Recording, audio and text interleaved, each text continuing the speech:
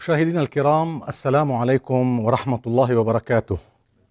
في حلقتنا لهذا اليوم من برنامج إضاءات سنحاول الإضاءة على موضوع هو من الموضوعات المهمة جدا جدا لكل أم، لكل مربية، لكل معلمة، لكل أخت ترعى أخ... إخوانها في البيت الأطفال والفتيان، لكل إنسان في هذه الحياة كان ابا أو معلما أو مربيا أو عالما.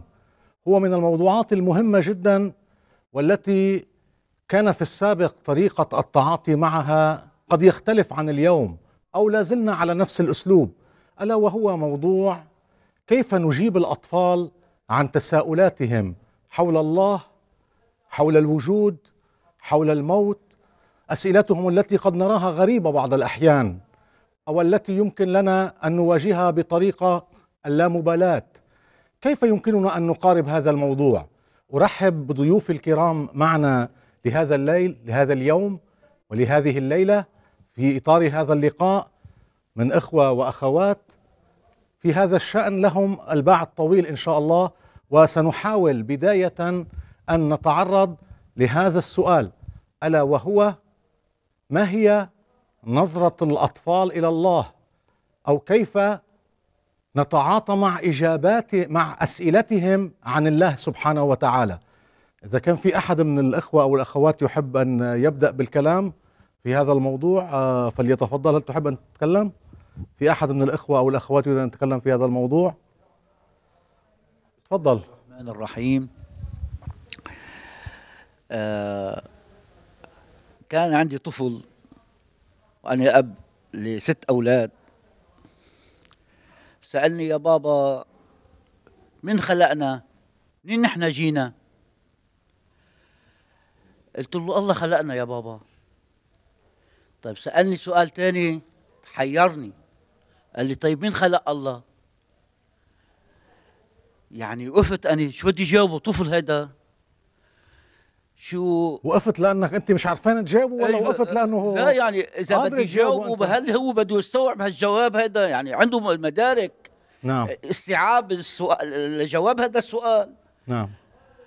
يعني يعني وقفت بحيري. نعم. فقلت له يا بابا الله رحيم الله غفور. شوف الله شو خلق خلق الطيور خلق الجبال خلق كذا. وهذا نعرف من هون إنه الله هو اللي خلقهم هو إيه، هون تتجلى عظمة الله بخلقه. نعم. ومن هون بنعرف إنه في الله والله هو أوجدنا. نعم. في هيك صارت حادثة مع ابني. نعم. آه هي اللي صار بيني وبين ابني. في حدا كمان من الإخوة بحب يضيف شيء؟ بده يضيف؟ في حدا من الأخوات بحب يضيف شيء؟ طيب خلينا نحن مشاهدينا الكرام والضيوف الأعزاء نضوي اولا على تأسيس لنقطة أساسية. عندما نتحدث عن العلاقة مع الأطفال عندما نتحدث عن كيف نقارب أسئلة الأطفال لابد أن نضع أساسا لذلك. اولا الأطفال ليسوا في مرحلة عمرية واحدة واحد. الأطفال قد يكونوا بعمر ثلاث سنوات قد يكون بعمر أربع سنوات خمسة ستة سبعة حتى عمر 14 سنة لا زال هو طفل أو فتى. يعني هو إنسان بعد ما صار مكلف. بعد إنسان صار ما اكتمل عنده العقل والوعي بشكل سليم. أولا بدنا ندقق على موضوع المرحلة العمرية. ليس هناك مقاربة واحدة. ليس هناك مقاربة واحدة. لكل الأطفال من عمر ثلاث سنوات إلى عمر 14 سنة ليس هناك مقاربة واحدة. الدليل على ذلك ما قاله الرسول صلى الله عليه وآله وسلم في موضوع الأولاد.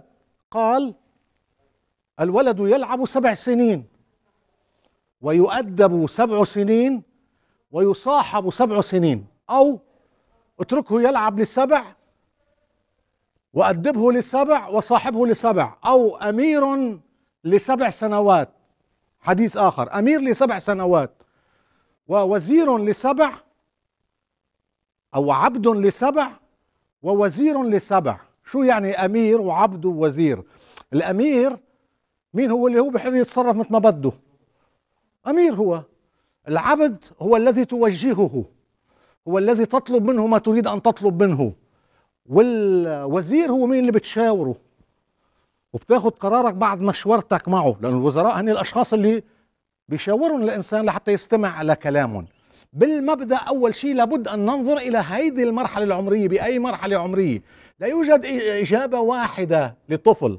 وبس يقول النبي ولد يلعب لسبع سنين أو اتركه يلعب سبع سنين ما بيقصد النبي صلى الله عليه وسلم أنه لازم ينترك يلعب لا.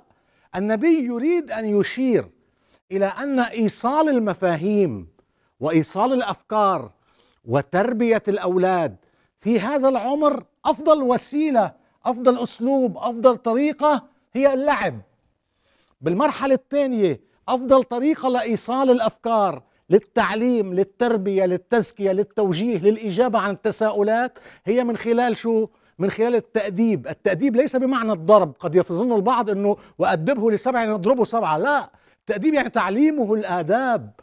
يعني إعطاء المواد إعطاء الأفكار تعليمه الأفكار. قد يحتاج التأديب. ربما إلى تبيان العاقبة. أنه عاقبة هذا الفعل هذا الأمر نتيجة هذا الفعل هذا الأمر العاقبة ستكون كذلك العقاب سيكون كذلك. مع تعدد طبعا أنواع العقاب ليس المقصود بالعقاب كمان فقط نحن بس نقول العقاب بنفكر إنه بس مثلا الضرب أو الإهانة أو التوجيه أو اللعن أو السب أو ما بعرف إلى آخره من مصطلحات. فاذا لابد أن نؤسس إلى هذه النقطة حسب المرحلة العمرية. باي عمر كان ابنك وقت سالك هذا السؤال. كان عمره تقريبا ست سبع سنوات تقريبا نعم يعني تقريبا بالمرحلة الأخيرة من مرحلة اللعب وبداية مرحلة التوجيه, التوجيه. والتأديب نعم. نعم لا بأس حضرتك كنت حابة تحكي شيء تفضلي بسم الله الرحمن الرحيم قبل أن نعلم الأولاد عن محبة الله لهم نبدأ بأنفسنا أن نعم. نحن نعلم نعم. عندما يأتي الطفل ويحدثنا عن الله يجب أن يرى في وجوهنا وفي تصرفاتنا ما هو يحببنا في الله. مثلا الرزق هو من الله عز نعم. وجل آه القضاء والقدر هو من الله عز وجل نعم إنما وجود الطفل بيننا هو نعم من محبة الله لنا أن يرزقنا الطفل طفلا نعم. صغيرا آه، بشوشا يعني جميلا فرح الحياة. الفرح نعم. هم زينة الحياة نعم. الدنيا نعم. هم زينة ويجب علينا أن نتزين بهم بتربيتنا لهم بمحبة الله فإذا الأمر الأول نحن لازم نعرف الله نحن. سبحانه وتعالى لأنه صحيح. فاقد الشيء لا يعطيه صحيح. اذا اردت أن أكلم شخص آخر عن موضوع بدي يكون أنا بعرفه وإذا أنا ما بعرفه كيف بدي أكلمه عنه صحيح. فالبداية إذا تبدأ من. من يتولى مسؤولية التربية سواء كانوا أهل أو معلمين أو إخوة أو صحيح. أخوات أو كبار صحيح. ومن لا يملك العلم لذلك الله سبحانه وتعالى بالقرآن الكريم قال لنا فاسألوا مين أهل الذكر إن كنتم لا تعلمون. يعني بدك ترجع لأهل العلم بس بدك تسأل عن موضوع يمكن الأهل يسألوك لك أنت فيك تقول له إنه يا بابا أنا على بكرة بجاوبك. هيدا جواب ما عندي هلأ جواب حاضر له روح توجه لأهل العلم لحتى يسألهم كيف بدي جاوبه شو الجواب المناسب. مش غلط إنه ابننا آه، يعتبر إنه أنا ممكن أسأل حدا أكبر مني وأعلم مني وأفهم مني بربيه على إنه هو يسأل. اللي أعلم منه واللي أكبر منه. هيدي كمان تربية من طرق التربية التأسيسية يعني الموضوع تفضلي. وفي القرآن الكريم ذكر وأوصيناكم بأولادكم. نعم. يعني ووصينا الإنسان بوالديه. لا بأولادكم. ما في بأولادكم. ولا يوجد ولا توصية في القرآن الكريم باولاد بالأولاد. التوصية دائما من الأولاد بالآباء والأمهات. وأوصيناكم ما في ولا ولا توصية. لا يحتاجون الأهل إلى توصية بالأولاد. هي الله عز وجل يوصي الأولاد بآبائهم وأمهاتهم. نعم يوجد في القرآن الكريم إشارة إلى أنه يجب أن يقوموا بمسؤوليتهم تجاه أولادهم. ولكن أوصيناهم هذا المقصود بدي أقول أنا ووصينا الإنسان بوالديه. حملته أمه وإلى آخره. وهكذا أكثر من مطرح التوصية هي جاءت للأبناء. ليش؟ لأنه عدد الأبناء هن اللي بيقصروا بحق أهلهم. بينما الأهل مش بحاجة لأنه الله يوصيهم. هن بيهتموا بأولادهم لدرجة إنه يتحاضرون لأن يقدموا كل ما يملكوا لأجل أولادهم. أن يبيعوا حتى آخرتهم بعض الأحيان لأجل أولادهم. أن يبيعوا دنياهم راحتهم أمالهم أحلامهم كل شيء عندهم لأجل أولادهم. تفضل. ولكن طبعا هناك طلب من الله سبحانه وتعالى أن يحرص الأهل على القيام بواجباتهم تجاه أولادهم لأن الله سبحانه وتعالى بالقرآن الكريم وهذه إشارة للشيء اللي تفضلت فيه صحيح موجود آه، أن الله سبحانه وتعالى بالقرآن يا أيها الذين آمنوا قوا أنفسكم وأهليكم نارا وقودها الناس والحجارة. إشارة. وأيضا أيها الناس عليكم بأنفسكم لا يضركم من ضل إذا اهتديتم. أيضا بموضوع العائلة والأسرة توجيهات كثيرة لها علاقة بالمودة والرحمة. أن يبدأ البيت الزوجي من المودة والرحمة ليقول لنا الله سبحانه وتعالى عندما قال لنا هو الذي خلق لكم من أنفسكم ازواجا لتسكنوا إليها وجعل بينكم مودة ورحمة. الأطفال هم المودة والرحمة بين نعم. الأزواج. هم المودة والرحمة. آه ليس فقط هم المودة والرحمة. ليس فقط إنما آه. هم مودة نعم. ورحمة. هم أكيد يضيفون المودة والرحمة والبهجة والسرور نعم. للبيت. لا شك ولا ريب. هم زينة الحياة الدنيا. نعم لا بأس. وفي مسؤولية تجاه أولادنا حتى أن النبي صلى الله عليه وسلم بيقول آه كما ورد في الحديث عن النبي لعن الله والدين حملا أولادهما على عقوقهما. يعني السبب بيكونوا هن وأنه يوم القيامة الله سبحانه وتعالى يأمر بجماعة إلى النار بسبب شو؟ أنه قصروا بحق تربية أولادهم. يكفي أن نشير إلى أهمية طريقة التربية وأسلوب التربية التربية المنيح خصوصا عند الأم لأن الأم هي المسؤولة الأولى في التربية أكثر من الأب. طلعوا أنتم نموذجين بالقرآن الكريم وسأترك المجال للكلام لمن يريد الكلام في هذا الموضوع. نموذجين طرحهم الله عز وجل في القرآن الكريم عن نسائين واثنيناتهم هن النسوان أنبياء. الأب هو شو نبي؟ النبي نوح عليه السلام والنبي إبراهيم. شوفوا المثلين هيدا نبي وهيدا نبي هيدا معصوم وهيدا معصوم. هيدا نبي للأمة وهيدا نبي للأمة. هيدا جاي اجى لحتى يحمل رسالة الله إلى الأرض وليربي أولاده والأمة وهيدا كمان نفس الشيء.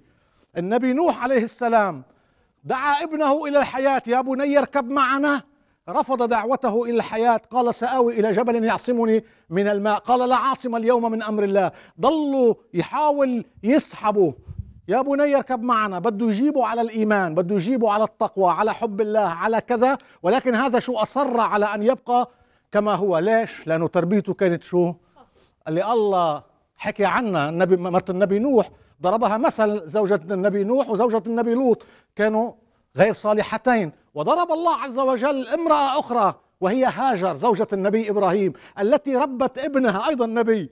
على الحق وعلى الإيمان وعلى حب الله سبحانه وتعالى بحيث دفعه هذا الأمر عندما طلب منه النبي إبراهيم أن يقدم نفسه ليذبحها قال يا بني إني أرى في المنام أني أذبحك. شو جاوبه؟ قال يا أبت افعل ما تؤمر ستجدني إن شاء الله من الصابرين. شوفوا أهمية التربية كيف نقارب التربية؟ وهون بيجي دور الأم دور المعلمة دور الأب دور المجتمع الكل لأنه هلأ بيشاركوا بالتربية. يمكن كانت بالسابق التربية يتولاها فقط الأم ولكن آه، هلأ التربية كل المجتمع يتولاها، وسائل الإعلام تتولى التربية، المدرسة بتتولى التربية، الجيران بيتولوا التربية، الشارع بيتولى التربية، الحي اللي بيعيش فيه الإنسان بيتولى التربية، القوى الحزبية والاجتماعية والمؤثرة بالواقع بتتولى التربية، كل العالم عم بتربي والأهل. بدرجة أولى بتاتا المنتج. خلينا نفوت دغري على موضوعنا. المقاربة كيف؟ بس يسألنا ابننا كيف بدنا نحن نعرف ابننا على الله؟ كيف بنعرفه عنه؟ تفضلي. أه هلأ مثلا في ولاد أمرار بيجوا مثلا لعندك بيسألوك مثلا إنه مين الله؟ شو عنده؟ إنه شو بيعطينا الله؟ شو هن النعم؟ كيف بنقدر نعرف الطفل على الله؟ أول شيء مثلا بنطلع نحن وياه نلعب بالطبيعة بنعرفه هيك إنه إنه نحن وين عم نلعب هلأ مين إنه هيدي الطبيعة منين إجت؟ بنقول له إنه الله هو اللي خلق هيدا الطبيعة، الله هو عن اعطانا التفكير، اعطانا النعم، بس في أسئلة مثلا تيجي أمرار ما فيك أنت توصلها دغري للطفل، لعمر الطفل، مثلا إنه إذا سألك آه مين خلقه لله؟ أنت ما حفيك دغري للطفل الصغير توصل له إنه الله لم يلد يعني لم ما عنده لا أب ولا أم هيك بت... بتقول له أنت مثلا بكرة بس أنت تصير واعي وكبير حتعرف أنت حتستنتج لحالك إنه الله هو ما عنده لا أب ولا أم. ومن خلال الطبيعة والكون أنت بتقدر تعرفه للطفل على فاذا خلينا نحن نشير نعم يعني. لشيء اشارت له الأخت مهم جدا. اولا بدنا نشوف طبيعة الطفل الذي يسأل بأي مرحلة عمرية. اثنين بدنا نشوف شو طبيعة السؤال عم يسأله. ثلاثة هل نحن نملك القدرة على أن نجيب نملك هذا العلم ولا ما بنملك هذا العلم؟ أربعة بعد إذا كنا بنملك هذا العلم هل الفكرة اللي بدنا نوصل له إياها بيقدر يفهمها ولا لا؟ ما راح يقدر يفهمها بهذا العمر لأنه في بعض كل مرة يعني إذا قلت له للطفل أنا السرقة بعمر سنتين بيعرف شو يعني السرقة؟ لا هو ما, ما بيعرف ما, ما بيعرف كلمة. شو شو معناتها الصلاة إذا قلت له موت بيعرف شو يعني موت؟ ما بيعرف شو معناته. أصلا في مفردات بعد ما عرفها وبعد ما تعرف عليها لحتى يقدر يعرفها أو يدركها بعقله بحسب الع- العمر لذلك أول شغلة بحب لكم إياها وبحب أقولها لأمهاتنا الكريمات. لكل أم مربية بحب إلا بدل ما نعلم ابننا نعرف ابننا على الله سبحانه وتعالى بطريقة التخويف منه أن نعرف ابننا بشكل أن يحب الله. صدقوني أمهاتنا الكريمات أيتها المربيات أيتها المعلمات أيها الآباء والأمهات أيها المجتمع صدقوني لا يوجد شيء يمكن للإنسان أن يدافع عنه وهو يخاف منه. إنما الإنسان يدافع عن من يحب. فإذا استطعنا أن ندخل إلى قلب هذا الطفل أو قلب هذا الفتى لنزرع فيه حب الله عز وجل. لنزرع فيه حب الله عز وجل بأن يصبح الطفل علاقته بالله عز وجل علاقة حب لله سبحانه وتعالى وليست علاقة خوف من الله. هذا الأمر سيجعل بداخل الطفل قوة ومناعة وقدرة على أن يواجه كل تشكيكات ممكن أن تأتي عليه في أي مرحلة عمرية لأنه يدافع عن من يحب. فرق كبير بين أن تدافع عن من تحب أو أن تدافع عن من تخاف منه. طبعا الخوف لابد له منه لكن في مرحلة متقدمة وليست في مرحلة الطفولة. وعندما يقول النبي تفضلوا حدا بده يحكي هون الأخوات بدك تحكي حضرتك؟ أنا كنت بدي أحكي عن. مسألة مهمة إنه أيضا ننقي الوقت المناسب لنحكي معه. لط- نعم. نستغل الفرص لحتى نحكي عن نعم الكلام الكلام في الوقت المناسب مش بس مع الطفل. مع أي مع شخص. صحيح. ضروري جدا أن نهتم. في شيء آخر حابب فيه تفضلي. لكن بدي أطرح أمثلة كيف يعني يعني تفضلي، لما أنا أجيب له. هدية وهو يكون مبسوط فيها بدي أعرف إنه هذه الهدية رزق من آه. الله عز وجل وأنا لازم أشكر الله. لما نعم. مثلا أكون بالطبيعة وبدي أعرفه على الطبيعة بدي أعرف إنه هيدي من عظمة خلق الله عز وجل. إنه بهيدي الطريقة أنا بكون على طول عم بربط الطفل مع الله عز وجل وهيك بكون عم عرفه بطريقة سلسة وشيء من واقعه هو وهو قادر آه، يعني شيء قريب من عقله. نعم. الله سبحانه. وتعالى علمنا شوي نحن على بعض الشغلات اللي إلها علاقة باللي نحن ما بنقدر نعرفها. مثلا بده يحكي لنا عن الجنة. الجنة اللي الله وصف لنا إياها بالقرآن الكريم في شيء منه نحن محسوس بحياتنا. واضح؟ يعني بدك تقدمي صورة تكون محسوسة كمان. بعض الأحيان نمذجة إذا صح التعبير. تقدمي له نموذج من واقعه اللي بيعيشه حتى تقربي له الفكرة لراسه. لأنه بالجنة واقع حقيقة أمر الجنة. فيها ما لا عين رأت ولا أذن سمعت. ولا خطر على قلب بشر ما بيخطر حتى على قلبنا ولا عين رأت ولا لكن كيف؟ بس لأجل لأجل تقريب الصورة بعض الأحيان من الصدق أن نقرب الإنسان الص- ال- ال- الصورة للشخص بصورة يشاهدها. لذلك الطفل بس بدنا نخاطبه بدنا نشوف شو الصور اللي شاهدها شو الأمور ممكن يدركها. مثل ما تفضلت الأخت وأشارت هلأ خلينا ننتقل له هون حدا بده يحكي شيء شيء ولا بنضلنا عند البنات؟ خلينا نسمع ونرجع برجع لك إن شاء الله. تفضل حضرتك. آه، بسم الله الرحمن الرحيم. اولا آه، بموضوع تربية الأطفال نحن بواقع آه، أعتقد يعني خلينا نشتغل على تربية أطفالنا بحسب مجتمعاتنا. وبتختلف أكيد كل مجتمع نحن نعم. نحن موجودين فيه. لكن نعم. في في فكرة دائما عم عم نتعرض له وعم تكون أكبر مشكلة نعم. هي موضوع آه، الأهل بحد ذاتهم آه، بطريقة إيصال الأفكار مثل ما تفضلت قبل شوي حضرتك عن طريقه التخويف والتخوين و و و والاعتبارات اللي هي أصلا عم كيف تخلي يعني الطفل كيف يعني شو بي شو بيقولوا شو بيقولوا لهم يعني الله؟ بيخنقك الله بيضربك الله بيعمل الله بيسوي وهذا الشيء عم بيولد عند الطفل شيء كر... مش كراهية من الدين بمعنى إنه صار في شيء حاجز بيقول إنه آه، في... بالقوة لازم لازم هذا الشيء ما ينعمل وعم بيولد بس يكبر هذا الطفل عم بيولد قصص سيئة جدا بمفهوم خاطئ عن الله سبحانه وتعالى نعم. بس لكن آه، أعتقد اليوم ب- بهيدي المجتمعات المتحضرة اللي هي نعم. معتبرة حالها متحضرة لدرجة ما آه، وسائل التكنولوجيا التطور الاجتماعي اللي نحن وصلنا له آه، اليوم الآباء والأمهات وكثير من هود من الناس المعنيين بالتربية تحولوا من تربية صحيحة قيمة على خط مستقيم لأطفالهم إلى تركوهم على على مبدأ المثل اللي بيقول ما تعلموا اتركوا الدهر بيعلموا مم. وصاروا معتبرين إنه هن عم بيقدر ياخذ اللي بده إياه بمكان بيقدر يفوت على مواقع مواقع التواصل الاجتماعي بيقدر يستفيد من هيدا وهيدا وحتى فكرة المدارس فكرة كل الجو المحيط لازم يكون في رقابة من الأهل طبيعي، لموضوع طبيعي. مواقع التواصل بفوت إلى صحيح. تكون هي مواقع أصلا عم تفسد أكثر ما عم بتضر صحيح، عم. بتضره أكثر عقليا على مستوى العقل وعلى مستوى القلب على مستوى الروح إلى آخره صحيح. نعم صحيح صحيح وحتى فكرة المدارس بعد الاحيان مولانا بتلاقي حتى هيدي المدارس آه، عم توصل تربية آه، بناء على منهجيات هي وضعتها نعم. مش شيء آه، بيناسب مثل شو يعني خلينا نفوت بفوت على الواقع أكثر يعني, يعني- يعني- عملي.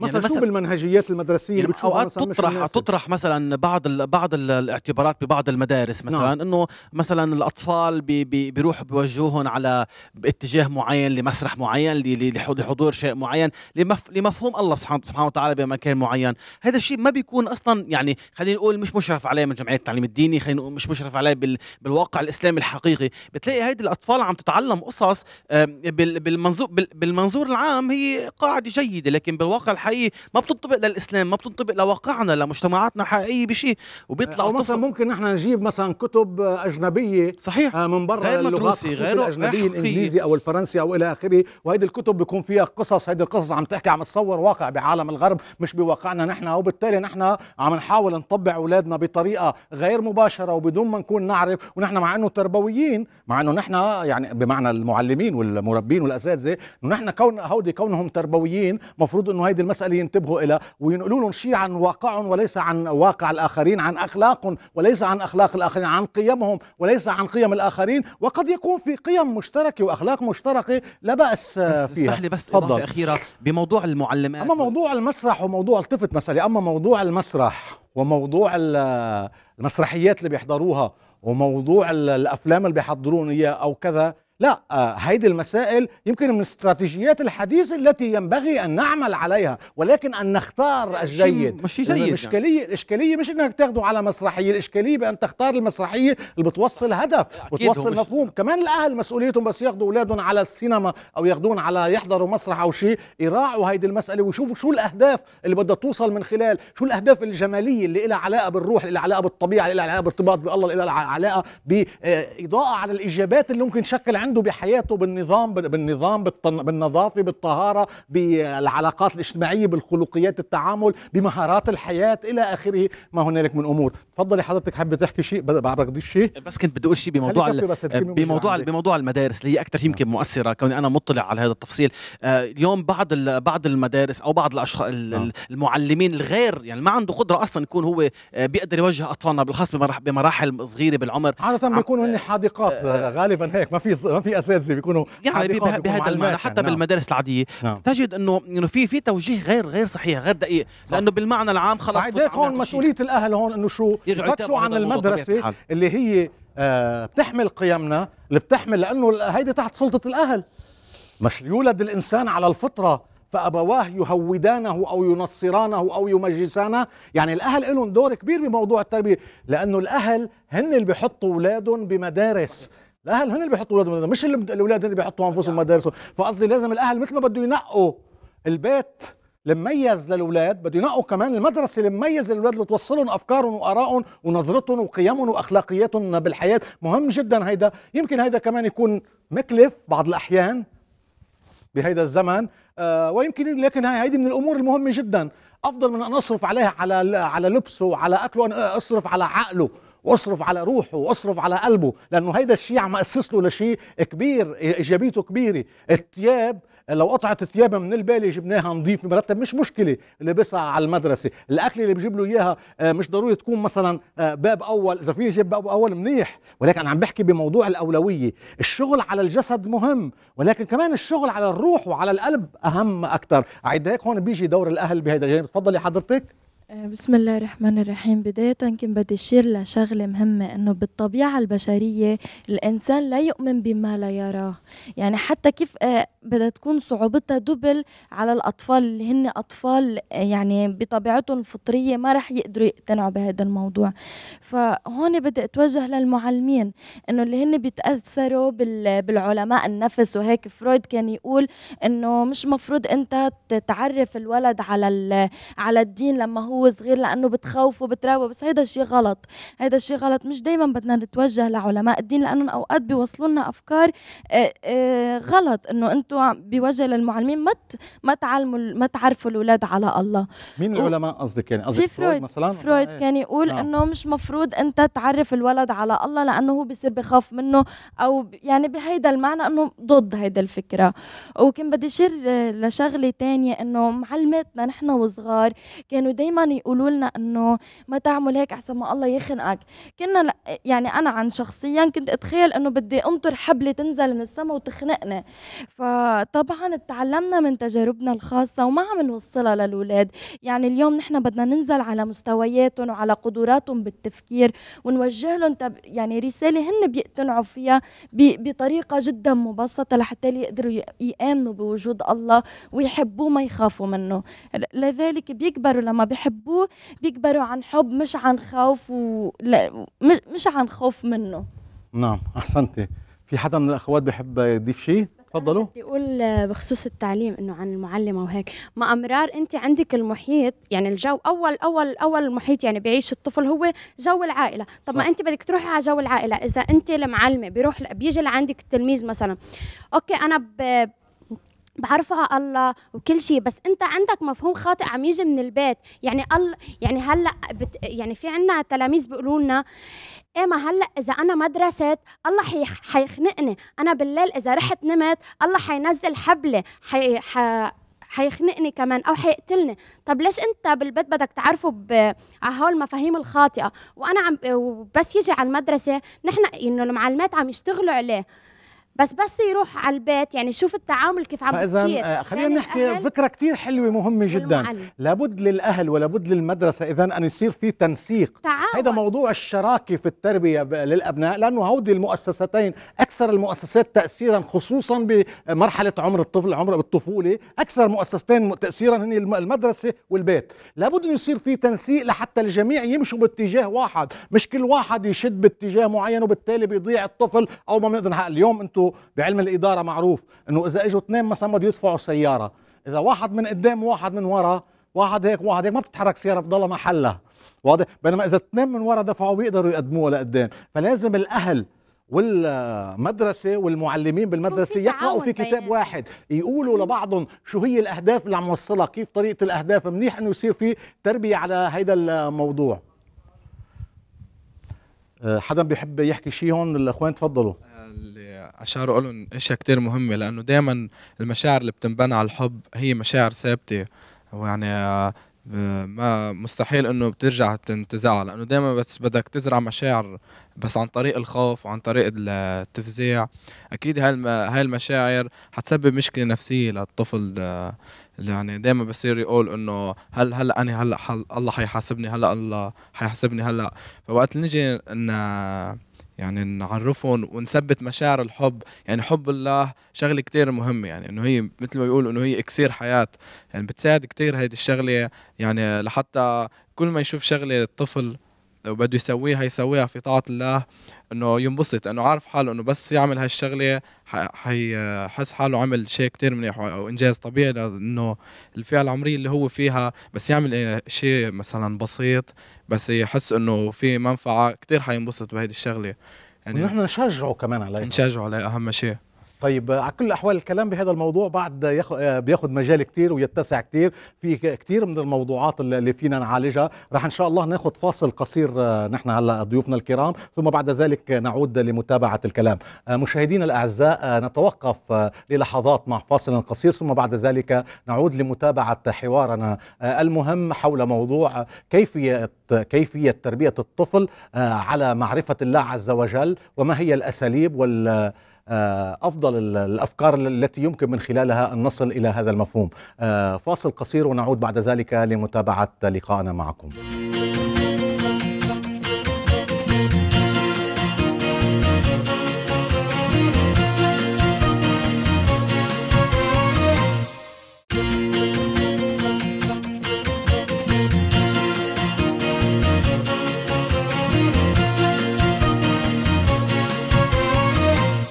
مشاهدينا الكرام عودة لمتابعة لقائنا لهذا اليوم في إطار آه، موضوع نظرة الأطفال إلى الله سبحانه وتعالى وكيف نعرفهم على الله سبحانه وتعالى في هذا اللقاء مع الضيوف الكرام. مجددا أرحب بالضيوف الكرام وأتوجه إليهم. هل من أحد يريد أن آه، يدلي بدلوه في هذا المجال؟ تفضلي. شيخ حضرتك قلت كيف بدنا نحببهم بأي طريقة؟ نعم. والأخت الكريمة قالت بعد ما توضحت الفكرة. نعم. نحن الكبار إذا فتنا على بيتنا نعم. وشفنا في هدية محطوطة على جنب مثلا. نعم. أول سؤال شو بنسأل؟ السؤال اللي بينسأل مين جاب الهدية على البيت؟ نعم. فنحن بس نجيب أي شيء البي بس يفوت على البيت جايب معه أغراض على البيت. مم. على الأم إنها تقول هاي من نعم الله علينا. برافو. هيدا من حب الله لإلنا الله أنعم بيكم وجاب لنا. ورزقنا. وجبنا هيدا. نعم. بلش ال- والذكر بالله عز وجل الحمد لله. الطفل بالعمر السنة أول ما يبلش يمشي أول ما بده يطلع على الدرج أول خطوة له يا الله. نعم. هو اللي عم بيساعدك. نعم. هو حدك نعم. بس تقول يا الله ما بتوقع بدك تحسس الولد بدك تعيشه بهيدا الفكر. نعم. نضل يتذكر. الشكر لله لأنه بيك قدر بس نقعد على الطعام. بسم الله. هيدي إيه. كمان من نعم الله علينا شو الحمد. لله على بس نخلص من ما رزقنا. الحمد لله. نعم. يعني هول هول الأمور الولد بس يتعود عليهم منذ الصغر. نعم. وهو صغير بده يقولون والأهل بده يعودوا عليهم. وهن بدهم نعم. يكونوا هيك. الولد مستحيل يقعد يسأل. طب وين؟ طب كيف؟ ما هو شايف. ما هو نعم. شاف الرزق وشاف الحب. يعني هي التربية بالتعويد على أن نذكر الله سبحانه وتعالى. ونربط كل ما يعني أعطانا وقع إياه الولد الله ما عز. وجل بالله عز وجل ما ما- الرزق الموجود قدامه إن كان بالطعام أو بالشراب أو بال الولد بس يوقع ما نعم. تأذى نقول الحمد لله بفضل الرب علينا إنه أنت وقعت طيب ما خبركم. قصة أنا صارت معي أنا وطفل صغير بتصور كل واحد منكم أكيد صاير معه قصص كتير أنا وطفل أنا كنت أدرس بمدرسة من المدارس أنا وطفل يعني بهيدي المدرسة مدرسة راهبات هي حقيقة مدرسة راهبات كنت أدرس فيها. كنت طفل أنا. كنت أوقع أنا بس أوقع تجي ال- الراهب الأخت اللي هي موجودة بالمؤسسة مثلا وهي مناوبة بالملعب مثلا تشيلني. يحفظك مثلا يسوع أو يحفظك المسيح أو يحفظك الرب أو يحفظك الله بهالشكل هيدا. ما بتعرفوا أنتوا قديش البعد بداخلي أنا ارتباط هيدا الشيء اللي ذكرته هي بموضوع الرحمه بموضوع العطف بموضوع الحب قديش بينعكس. بس تتكرر هيدي المسألة وهذا الشيء اللي أشرت له مهم جدا جدا جدا كتير. لأنه ال- التربية آه، حتى العبادة هي عادة. حتى العبادة عادة تبدأ عادة. هلأ طبعا بعدين الإنسان بيطور عبادته بصير في تفكر متقدمة اللي بيصير. وهكذا. فإذا كتير مهمة جدا هيدي الأفكار. في شيء تجارب أخرى بحياتنا؟ هات لحتى نشوف آه، شو يعني آه، يعني أنا من من فترة اضطريت ما أكون بالبلد وكان ابني صغير بمكان معين. بعد ما رجعنا هو عمره ثلاث سنين. بعد ما رجعنا من السفر آه هيدا الولد صار عنده آه مخزون من الأمور الدينية أنا استغربت فعلا.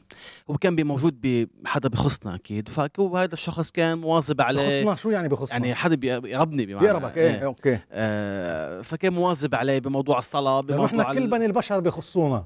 الإنسانية جمعاء. تفضل. آه، بموضوع الصلاة بموضوع ال- الأدعية بموضوع هال- هالقصص. رجعت يعني بعد بعد فترة هذا الصبي بالبيت نعم. آه، صار عنده قصص وخبريات بموضوع الأدعية. صار حافظ كتير قصص. إيه. ولد عنده قصص جيدة. صار آه، صار بموضوع الصلاة يمكن بمكان معين بس يسمع الأذان آه، يجيب المصلية يحطها بدنا بدنا بدنا نصلي. يعني تعود على بعض هو التفاصيل يذكرنا إيه،. هو يذكرنا بهدول هلا. ببيوتنا نحن. صحيح.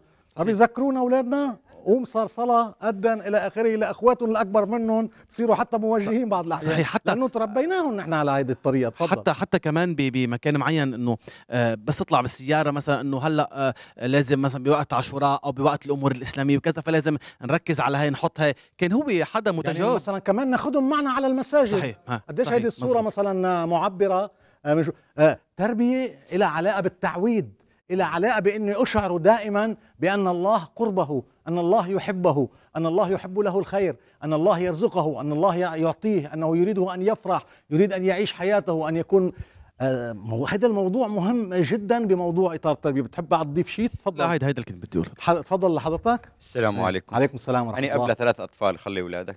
ما شاء الله. آه الله يخليهم. من و- وأنا وأنا صغير بعرف إنه آه، تربية الطفل تربية طبيعية يعني بص- بصفتي إني إنسان مزارع. نعم. يعني كانت المدارس خفيفة شوي. نعم. نشأت على هالبيئة هاي إنه الله موجود فوق شغلة فوق. نعم.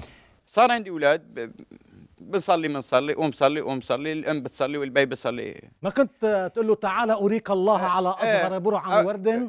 يعني في فترة من صغير بقول لي هذا أصغر واحد بقول لي بابا ارسم لي الله. تعال اقف انت اعرف ارسم؟ إيه. شو بدك ترسم. إيه آه، بوقت ثاني لقيتهم عم بيستوعبوا مثلا آه، لبعض كلمات أكثر من كلمات آه، الدين. ليش ما بعرف؟ سألت يعني صرت ادقق ورا الموضوع بقول لي إيه شو بدك تعوفنا الله أنت؟ آه. يعني من كثر ما بدك تلج كمان بموضوع الدين. أوكي. مش منيح قصدك أنت. إيه مش منيح يعني لا أفراط ولا تفريط. أيوه إنه مثلا لقيت الولد إنه من كثر ما بدي أعطيه بالدين بالدين بقول لي شو ما فيش دين؟ ما الواحد بده يلعب ما بده فكرة فكرة فكرة كثير مهمة يمكن بدي أنا واحدة حقي من ألعب. الشغلات اللي بنعاني منها وبنفكر إنه منيحة هيدي إنه نحن دائما إيه مثلا باجي بقول له. آه، تعال مثلا بقول لي خلي أمي ترك التليفون وأنت ترك التليفون وتعالوا علموني. فاضيين لله أنتم بس نعم. على, على محمد يلا قوم يا محمد صلي يا محمد. نعم. يعني كمان في الواحد ما يكونش يشد وير. يعني لا تنهى عن إيه، خلق أيوة، أيوة. وتأتي بمثل يعني هاي طبيعتي. إيه. لا صحيح آه، مهم جدا. في شغلة مهمة جدا نحن يمكن بحياتنا. آه، بدنا نراعي ال- الوسطية. لا يقول الإسلام هو دين الوسطية. وكذلك جعلناكم أمة وسطا لتكونوا شهداء على الناس ويكون الرسول عليكم شهيدا. أو ولا تجهر بصلاتك ولا تخافت بها وابتغي بين ذلك سبيلا. ولا تجعل يدك مغلولة إلى عنقك ولا تبسطها كل البسط بسط إلى فإذا الاعتدال والوسطية أمر مهم حتى بموضوع الدعوة إلى الله حتى بموضوع التعب. بس يكتر كتير كتير كتير زيادة عن اللزوم الضغط. وهذه مسألة بيقدرها بظرف حسب كل بيت. كل بيت حسب كل بيت صح ممكن أن يؤدي أيضا إلى نفور الطلاب. إلا إذا لا شيء ال- الأطفال. وهيدي مسألة من المسائل اللي علاقة بالأسلوب. لازم بيوتنا نحن يكون فيها أناشيد تحبب بالله سبحانه لأنه الطفل بس يقول الولد يلعب سبع سنين ما في شيء مثل الغنية والنشيد أو الأنشودة بتوصل المفهوم للطفل. ما في مثلها. ما في مثل الرقصة عفوا. أنتم قد البعض يقولوا إنه كيف يعني؟ إيه الرقصة والغنية قدام الطفل والأنشودة والمسرحية والتمثيل والحركات الفولكلورية وإن صح التعبير الكلون آه، ونعمل لهم حركات مضحكة ونوصل الفكرة من خلال أفضل أسلوب. هو بتعرفوا شو مسرح الدمى يعني عند الأطفال اللي بيمثل حلم للأطفال؟ بيعرفوا اللي بالمدارس اللي في عنده مسارح دمى أو بس مثلا الطفل مثلا أنا آه، خصوصي بمراحل ال- الروضات أو الحلقة ال- الأولى بأوائل الحلقة الأولى قديش مهم موضوع ال- الغنية والأنشودة والقصة والمسرحية والأمثال وإلى آخره؟ قديش بتأثر وبتترك عند الطفل آه، مهم جدا. هي بالأساليب. تفضلي حضرتك بدك تحكي هلا برجع لك. انت عم تحكي عن المسرحيات والقصص والأناشيد هون انت وقت تعمل له مسرح دمى انت عم توصل له فكرة معينة عن عن الله. أو نعم. مثلا بالغنية بالقرآن بتعلمه اشياء عن الله. هيك خلص إنه رسخت بعقله أكثر من خلال الأغنية المسرحية. بتخليه هو يمثل قدامك يلبس مثلا هي هو يعني يعبر عن رأيه قدام رفقاته بس بالطريقة الصحيحة ال- التي إنه آه بسأل سؤال لحضرتكم. ولحضراتكم جميعا. اولادنا نحن بالبيت ما بنجيب لهم ألعاب؟ بنفكر يمكن بالألعاب الأولاد إذا بنات بنفكر لها بوبي آه ب شو بيسموها؟ لعبة دمى آه عبارة عن آه ب- بنت صغيرة بنوت صغيرة إلى آخره. الصبي بنجيب له يمكن مثلا آه شغلات طيارة أو سيارة أو قطار أو أو ما شاكل ذلك. بس بسألكم سؤال مين منا بيفكر يجيب للطفل الميكروفون اللي بيحب إنه يطلع صوته؟ أو مين منا بيهرب؟ هلا بده يعمل لي ضجة بالبيت لا بيعود يخليني يسوي والميكروفون يقرأ عليه قرآن أو يصلي على محمد وآل محمد أو يعمل له أنشودة مثلا آه، منيحة وإلى آخره. مهم جدا.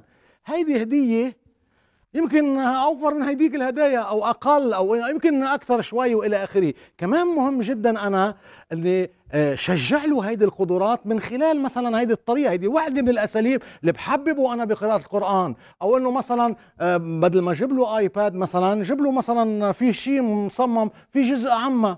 عودوا إنه يسمعوا مثلا آه، لجزء عامة لحتى يصير يحفظوا ويتعلق بالقرآن شيئا فشيئا. طبعا كله ضمن حدود معينة. وكله ضمن شو؟ إشارات معينة. أكثر من هيك.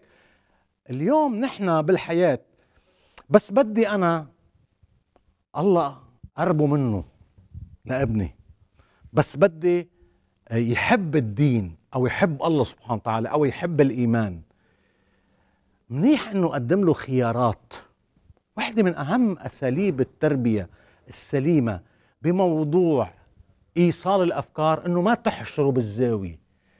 موضوع تحجبي موضوع قوم صلي موضوع عفوا نحن بعض الأحيان نستعمل حتى مفردات مع أولادنا ما بنكون نعرف الله يلعنك الله لا يوفقك. مش مست... مش مفردات بيستعملوها الأهل. الله يلعنك والله لا يوفقك والله لا يبارك فيك والله يخلي لك وما نافع أنت وما طالع من أمرك شيء وإلى آخره. كلها مفردات سلبية ويمكن بأمور لها علاقة بالدين أو لها علاقة بصلاته. أو لها علاقة بارتباطه بالموضوع الديني بنستعمل هيدي المفردات القاسية والصعبة. شو الانعكاس السلبي عليها لهيدي المفردات؟ وقديش الأسلوب الرحيم والمحبب بدل ما أقول له أنا مثلا بقول له أنا الشيطان بيعمل لك كروس. إذا بتعمل هيك كروس بالإنجلش يعني بال يعني إكس بالفرنساوي يعني غلط يعني عمل غلط. رسمه علق له إياه. بس أربط له إياها بموضوع إنه الشيطان اللي عم بيخليك تعمل هيك لأنه ما بيحبك لأنه ما بده إياك تروح على الجنة لأنه ما بده إياك تكون مرتاح لأنه بده يعذبك. أعمل له مشكلة مع الشيطان. مش أعمل له مشكلة مع الله. أعمل له مشكلة مع الباطل. ما أعمل له مشكلة مع الحق. أعمل له مشكلة مش معي. ما أعمل له مشكلة معي. وهكذا. فمهم جدا هيدي بموضوع أساليب التربية نلتفت إلى حدا بده يحكي من الأخوات حضرتك أه بدك تحكي تفضلي هلأ برجع لك عفوا تفضلي أنا بدي أحكي عن تجربة صارت معي آه يعني أنا وصغيرة كنا نقعد نحن وأهلي وهيك ونقعد نتساءل مثلا آه في مرة سألت الماما إنه استغفر الله استغفر الله إنه ليش أنا مش الله م. إجاني هالسؤال وسالت اياه ليش أنا شو؟ ليش أنا مش الله؟ ليش هو يعني ليش الله فوق؟ ليش أنا مش الله؟ ليش أنا آه. مش محل الله؟ إيه أوكي قالت لي قالت لي هون بتصيري آه عم عم إنه عم تكفري طب أنا ليش عم بكفر؟ ما أنا بدي أعرف إنه أنا أنا طفلة وبدي أعرف هيدا هيدا السؤال بدي انه بدي جواب وقت سالتي يمكن حتى أنت ما بتعرفي شو يعني الله يمكن كنت وقت قلتي ليش أنا مش الله يمكن كمان كنت ما بتعرفي كان كنت أعرف إنه إيه. معناته لله ومين إيه. هو الله وهيك إنه بس إنه ليش نحن مش الله؟ ليش هو مثلا الله وليش أنا مش الله؟ إيه okay إيه إنه كيف كان الجواب الوالدة؟ شو جاوبت لك يعني الوالدة؟ قالت لك هيدا كفر مثلا إيه قالت لي هيدا كفر إنه انت عم تكفري هون. okay بس ما قالت لك ليش كفر هيدا؟ قالت لي إنه الله هو إنه وحده الواحد الأحد. وحدة من المشاكل الكبيرة إنه نتهم أولادنا بالكفر لمجرد تساؤل عم يتساءلوه. فإذا كان مش أولادنا بدنا نقول حتى بالمجتمع. مش كل واحد تساءل تساؤل معين معناتها كافر صار هو. أو معناتها صار ملحد هو أو معناتها صار مشكك هو. عم يسال يمكن لأنه ما بيعرف إيه ما أنا ما بعرف. أو لأنه حابب يعرف يعني صح. أو حابب يوصل لشيء. فمهم جدا نحن بأي سؤال مثل من التساؤلات إنه ما نوصم الآخر بصفة؟ تعمل له مشكلة وتعمل له عقدة. نقمعه من إنه يرجع يسأل السؤال علنا وهو بعده السؤال موجود بداخله. يعني إذا أنا قلت له خلص أنت عم تكفر هيك ما تحكي هيك شو عمل هيدا. بعده هذا التساؤل جوا ما جاوبته عليه. ولكن شو قمعته أنا؟ وأنا قمعته صار عنده شو؟ بهذا القمع صار عنده مواجهة أكثر صار عنده يعني آه، صار ويمكن يروح يسأل غيري. أنا اللي بدي مصلحته وما جاوبته. ومهم جدا هيدي بس يسالنا طفلنا إما نحن بنجاوبه اما بده يغذي فضوله يروح يسأل واحد تاني. يمكن الواحد تاني اللي يساله يجيب عن الشيطان ولا يجيب عن الله. يمكن أستاذه يكون أو بكون ما بيعرف أو يكون ما بيعرف. إذا أنا ما بعرف بقول له بجاوبك. إذا بعرف بالمقدار بس اذا سالني كيف الله؟ أو ليش مثلا الله مثلا آآ آآ مين بيه أو شو شكله؟ فيني أقول له مثل ما الله وصف نفسه نور السماوات والأرض. إنه الله نور. قصدي هذا جواب صحيح مش جواب غلط. لأنه أنا بعرف إنه هو ما راح يقدر يحيط بالمطلق. لأنه مهما تصورت نحن نحن مهما تصورنا الله في بالنا مثل ما بيقول المقول مهما تصورت الله في بالك فهو في خلاف ذلك.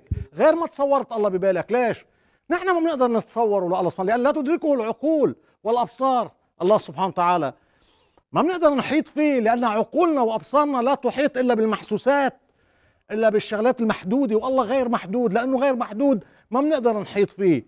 الله وصف نفسه بنور السماوات والأرض فيني أقول الله قال عن حاله ليس كمثله شيء. ما في مثله شيء. ما فيني أقول له الله مثل هيدا بس قل له الله أنا مثل انسان هو كونه إنسان كونه شايف عنده بي وعنده أم فكر إنه الله طفل مثله. عرفت كيف؟ وعنده بي وعنده بده يسألني مين بي ومين أمه وين بيأكل وين بينام وشو بيعمل وشو بدي يفهموا إنه الله سبحانه وتعالى مش إنسان مثل الله هو نور. هو هي السماوات والأرض كلها سوا نور السماوات والأرض. مثل ما الله وصف بالقرآن الكريم نفسه بجاوبوا على الجواب ولو مش جواب كامل لو ما قدر يستوعبه لو ما قدر يستوعبه بالكامل جواب صحيح مش جواب غلط بس. ما بيجاوبوا جواب غلط. بيجاوبوا جواب صحيح. مثل مثلا بيسأل الولد بعض الأحيان آه شو الموت يعني؟ فيني أقول له الموت إنه هو سفر بعيد. مش غلط. هو سفر بعيد. هو فعلا سفر. الإمام علي عليه السلام قال إنه هو سفر. كان صاحبكم يسافر؟ قالوا له إيه؟ قالوا نعتبروه في سفر. فقصدي هو سفر هو هو سفر من الدنيا إلى اخره أو إنه مثلا بالسما موجود مش غلط كمان فكرة بالسما موجود مش إنه كلمة غلط هيدي. يعني ما عم تحكي شيء غلط ما عم تحكي شيء كذب ما عم تحكي شيء لكن ما عم تحكي له الموضوع كله سوا لأنه ما بيقدر يستوعب الموضوع كله سوا. تفضلي حضرتك بدك تحكي؟ تفضلي. أنا كنت بدي أحكي عن تجربة. تفضلي. آه، مش شخصية يعني لناس بعرفها. آه، بعرف آه، شخص كان بيو يعني بدي أقول أنا بدي أوصل فكرة إنه مش دائما الأهل بيأثروا أوقات بيكون إنه هو من دافعه في عنده الواحد دافع للتوجه والتقرب لله. نعم. آه، كان كان بيو إنسان يعني جدا آه، بيكفر بالله جدا جدا يعني سيء بهذا المجال. نعم. لكن كان عنده بالمقابل إنه أوكي في محفزات في اخته في كذا تدعمه من ناحية التقرب من الله وهيك. لما كبر هيدا الإنسان ما عنده أم. عنده عنده محيط يعني محيط قرايبين أمه أخته كذا. آه كبر هيدا الإنسان وحتى محيطه رفقاته كمان ناس بتسرق وكذا بعيد كل البعد عن الله لكن هيدا الإنسان وصل هلأ اليوم لمرحلة إنسان جدا مل- ملتزم واصل لمرحلة تقرب من الله مش طبيعية أحسن بكتير من غيره من ما عنده أم وبيه بوجهوه بدي أوصل رسالة إنه مش دائما الأهل اللي اللي هن بي بي بيسقط اللوم عليهم إنه أنتم السبب إنه ابنكم طلع عاق أو بعيد كل البعد عن الله أوقات ليس دائما قد. يكون لهم دور في ذلك في لهم وقد دور لا دور يكون في دور في أساسي. ذلك. إيه يمكن محيطه يمكن حدا أثر عليه إيه. لكن في بس دافعيه اللي حضرتك اللي عم تتفضلي فيه هو استثناء وليس قاعدة. القاعدة إنه الإنسان بي- بناء الشخصية الإنسانية وين؟ بناء الشخصية الإنسانية أصلا بتكون من خلال أول شيء المدرسة الأولى اللي هو البيت الأسرة. اثنين ال- المدرسة ثلاثة المحيط الاجتماعي اللي بيعيش فيه التأثيرات الأخرى الأصحاب وهكذا. كل هيدي عوامل بتبني شخصية بتشكل شخصية الإنسان لأن الإنسان طبيعته بيتأثر صح. وبيتفاعل مع ما حوله. أول التأثير وضع اللبنات الأساسية هي بالبيت. ممكن يكون استثناءات ممكن يكون مثل ما قلنا نحن. مثلا شخص بيت معين بيت أثر نبي وما قدر ابنه. نبي وما قدر ابنه. بنشوف بعض الناس ال- الآباء آه، طيبين والأولاد بعيد عن السمين خبثاء أو الأبناء طيبين والآباء كانوا آه، مش مناح. صح. بيكون في عامل مساعد ساعده بمطرح آخر جانب آخر تربوي. يمكن هو كمان هيدا الشخص اتخذ له القدوة شخص آخر غير بيه لأنه ما شاف ببيه هيدا الشيء فهيدي القدوة الأخرى هي اللي عززت له لأنه في فطرة بالأخير بالأخير عند الإنسان فطرة الله التي فطر الناس عليها. خلينا نلتقي اللي عند الإخوان هون وبعدين نسمعكم كلكم سوا. سمعنا كثير للأخوات نسمع الشباب. بس بدي اللي قالته الأخت جيد جدا هو موضوع الشك السلبي يمكن اللي عمل له شيء إيجابي للشاب. بس أنا عم انتقل ل- لموضوع آه، أوقات حتى أنت الإلزام بمكان معين. تعال روح اسمع مجلس عزاء. هيدا الصبي أو هيدا الولد الصغير بس يكون عم يحضر مجلس عزاء وقاعدين أهله بس شوف أهله عم يبكوا.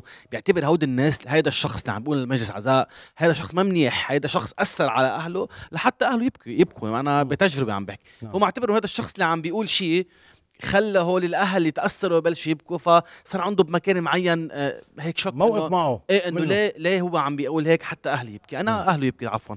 أنا اللي قصد إنه حتى ببعض الأمور اللي بدنا نوجه. فيها أطفالنا الدينية مش لأ تعال نحن بالمطلع العام تعال تعلم كل شيء وتعال شوف كل شيء شوي شوي الأمور الدينية اللي, اللي نحن بنكبها على أولادنا بشكل لأنه نحن بدنا نطلع منهم ناس مؤمنين ملتزمين هذا التوازن. المطلوب اللي عم مطلوب اللي عم نحكي عنه والاعتدال بموضوع بيقلب علينا وبيقلب على أطفالنا مثل عم نعم. هو صار عنده شك بمكان معين ليه آه، هيدا الشيخ عم ببكي أهلي يعني لا تكن لا. تكن صلبا فتكسر ولا تكن لينا صحيح صحيح. فتعصر صحيح. أو كن في الفتنة كابن اللبون لا ظهرا فيركب ولا ضرعا فيحلب. فالإنسان الوسطية والتوازن والاعتدال منيح دائما نضلنا نشجع الإخوان ننطلق من المحبة. ويمكن هيدا الشيء ينعكس سلبا على الطفل مش بس بمجلس عزاء إذا عم يستمع. يمكن إذا كان في آه، صار حالة وفاة مثلا أو موت آه، عند الطفل. الطريقة اللي بيقارب موضوع فيها الطفل إذا اعتبر أنه الله سبحانه وتعالى موته هذا الشخص صاروا أهله يبكوا بسبب موت هذا الشخص والآخر بياخذ عنده بعد أيضا سلبي. لذلك مناسب نحن أطفالنا إذا سألونا عن الموت وعن كذا وإلى آخره إنه هيدا الشيء طبيعي بالكون وهيدا الشيء بيصير وإلى آخره وكمان واحد سافر وإلى آخره. ونحن بنزعل إذا واحد سافر فترة معينة بنبكي عليه كمان نحن إذا سافر لحتى ما يولد عنده إشكالية. يمكن ما يفهم بعد حقيقة الموت ما راح أقدر جاوبه عن حقيقة الموت بجاوبه عن شيء حقيقي وشيء يكون صادق بس مش الفكرة ككل لأنه ما بيقدر يستوعبها الفكرة ككل. غلط تطلع له الفكرة ككل. إذا ما راح يقدر يستوعبها. تفضل حضرتك. في تجربة صارت معي أنا. آه أنا كتير حبيتها لأنه أول شيء كنت منزعج منها. نعم. كان عندي مشكلة شوي صغير إنه كنت حس خي أوقات يعني ما كتير عم بحب يعني يعمل الأمور الدينية. آه، مثلا وقت الصلاة مثلا يتأخر وهالاشياء اعتمدت مبدأ إنه مثلا إنه أوقات مثلا صير أقرأ أدعية قدامه دائما مثلا آه، يعني أكثر شيء أهم شيء وقت أروح على المسجد. يعني مثلا أنا دائما حاول أقول مثلا للمسؤول إنه أني أقرأ الدعاء وهالأشياء. بالبيت كمان روح أتدرب. أما بس صار هذا الشيء أم صار كثير يقلدني. منيح إنه أنا ببداية الطريق أنا وأخده على المسجد أعمل له أشتري له شيء على الطريق مثلا. شيء شيء شوي مش لحتى يرتبط بشكل مادي انتبهوا لا. بس إنه حتى يشعر إنه في شيء تغير. واضح بمشوارنا هيدا. آه في حتى إذا كان في شيء سلبية من تواجده لأنه قد يبدر بعض السلبيات بالتواجد بالمسجد. بنشوف نحن بعض المصلين بالمساجد الكبار بالعمر شو بيعملوا؟ بصيروا يزعبوا الأولاد أو شيلون عنا أو طوشونا أو ما بعرف شو إلى آخره. سماحة السيد الله يرحمه كان دائما يقول جيبوا الأطفال على المساجد. ما تزعبوا الأطفال من المساجد؟ خليهم يعيشوا بالمساجد خلي يحسوا بالمساجد. جاوبوهم على أسئلتهم دائما. مهم جدا الإجابة إنه قصدي تفعل هيدا الشيء فالأسلوب مهم جدا. الأسلوب هو أو يقتل أو يحيي. الأسلوب أو بيجعل الإنسان بحب الدين وبحب الله سبحانه وتعالى أو الأسلوب بيخلي الواحد ما يحب الدين وما يحب الله. الأسلوب مهم جدا. أساليبنا نفتش عن أساليبنا وطريقتنا وحكمتنا بايصال الفكرة بعد تضيف شيء؟ تفضل. الفكرة الحلوة بهالموضوع إنه بس أنت تقعد تعمل شغلة آه حاول خليه يقلدك. يعني دائما نعم. مثلا هذا الموضوع اللي أنا كنت دائما أعمله إنه أقرأ الدعاء فيصير هو يحب يقرأ. فحتى فينا بباقي الأشياء يعني كرمال الصلاة كمان أنتم قلتوها بس إنه يعني حبيت كررها لأنه شغلة كتير مهمة. يعني دائما واحد يرفع صوته الله أكبر. ولا مثلا عند الركوع والسجود وهالقصص. مثلا الأذان مثلا خلينا دائما نقول بصوت عالي لأنه بس يسمع حيحب قلبه بشكل كتير طبيعي يعني. طريقة من التذكير هذا بعد حدا في عنده شيء في حدا بحب تحكي شيء تفضلوا؟ بدنا نسمع بعد مداخلتين لأنه الوقت يعني شرف يعني على المهم الواحد إنه يصحب أولاده إلى المساجد. نعم. ويعني يعودهم على الإحسان يعطي أولاده مثلا مصاري ويعطي الفقراء. مشان يعود هالولد على على الإحسان وعلى البر نعم ويشعر أحسن. مع الآخرين. آه. لأنه الفقير له حق علينا. صح أوكي. هيدا أيضا من ضمن التربيه أسلوب كله أسلوب. يعتاد على العطاء بال وعلى بالقدوة. احسن أحسنت فكرة كثير منيحة للأخت تضيف. تفضلي. كلام الأخ. إيه؟ بالاستقامة نسلم ولكن بالعمل الصالح نسعد. نعم. يعني ممكن نحن نعلم ابننا ممنوع تسرق ممنوع آه، تكذب ممنوع آه، تأذي ممنوع كذا بس لو علمناه الحب التعامل نعم. مع العالم بالطريقة نعم. الحلوة والحسنة هيدا العمل الصالح اللي الولد بيربى عليه من الصغر بيكبر نعم. وبيبقى معه لحد ما يعني يعني هذا الجيل اللي بيطلع عنا بيطلع جيل أفضل وأحسن وأرقى وناجح لأبعد الحدود يعني نعم. لو بقينا نحن نحن بس بدنا نشتغل شوي نحن على أنفسنا نعم. أكثر من لابد أن نبدأ من أنفسنا من اولا من نصب إيه نفسه للناس مي اماما. مي عليه صحيح. أن يبدأ بتأديب نفسه قبل تأديب غيره صحيح. وليكن تاديبها بسيرته. تأديبهم بسيرته لا بأقواله. آه أنا بتشكركم كثير ضيوفنا الكرام. في شيء بعدك تحب تضيفيه؟ بس إنه بتمنى تمني على الامهات على الأباء إنه يصطحبوا أولادهم إلى المسجد. نعم. يصطحبون لأنه اسمه بيت الله. أحسنت. اسمه بيت الله. حببهم ببيت الله كمان. خلي يكون مكان يلعبوا فيه لأن المؤمن في المسجد كالسمكة في البحر. وقديش السمكة بتعيش الراحة في البحر. إذا الطفل عاش السعادة بالمسجد تعمل عنده ارتباط بالمسجد واللي هو بيت الله سبحانه وتعالى وارتباط بالله سبحانه وتعالى. الحقيقة الأفكار اللي حيوية اللي قدمتوها أنا بتشكر بتشكركم لحضوركم معنا آه، الضيوف الكرام واللي أغنيتوا هذا اللقاء آه، بشكل كتير منيح. كخلاصة نهائية آه، الأساسية اللي بنتوجه فيها للأهل الكرام للمشاهدين الأعزاء أنه أن أهم شيء يمكن أن يجعل نظرة الطفل إلى الله سبحانه وتعالى نظرة سليمة صحيحة هي نظرة الحب. عودوا أطفالكم علموا أطفالكم ربوا أطفالكم على حب الله عز وجل على الفرح به على الصداقة معه ولا تعلموهم على الخوف منه. أسأل الله سبحانه وتعالى مشاهدي الكرام أن يوفقني وإياكم لما فيه الخير والصلاح أن يجعلنا ممن يستمعون القول فيتبعون أحسنه إنه سميع مجيب. وآخر دعوانا أن الحمد لله رب العالمين. والسلام عليكم ورحمة الله وبركاته. وإلى موعد آخر بإذن الله تعالى. دمتم بخير.